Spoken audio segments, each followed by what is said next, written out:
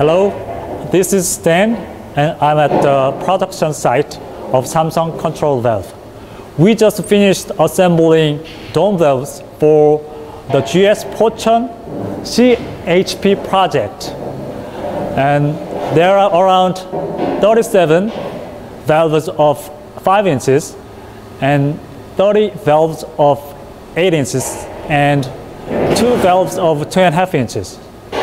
All valves are inspected before we deliver to our customer.